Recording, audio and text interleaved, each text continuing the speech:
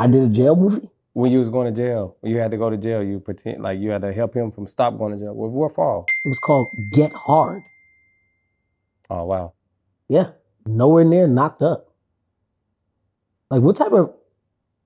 Are we doing research, or we just kind of? No, no, no. I got that was me. I can say that was. I. It's so many movies you got.